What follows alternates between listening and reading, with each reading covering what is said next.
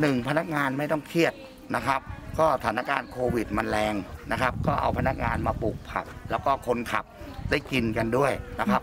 คนขับที่สู้ไปกับทางเราสากลบวรกับรัชพฤกษ์นะครับ เดี๋ยวผักออกอลูกออกผลคุณมาเก็บได้เลยฟรี เรามีน้ำพริกให้ด้วย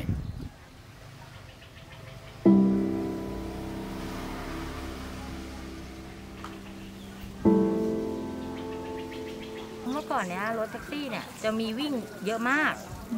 ออกค่อนข้างเยอะ ต่อมาช่วงหลังที่เรามีประสบปัญหาเรื่องโควิดเนี่ย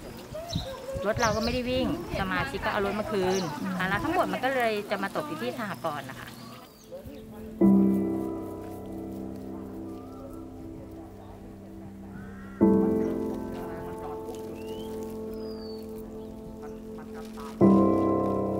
เ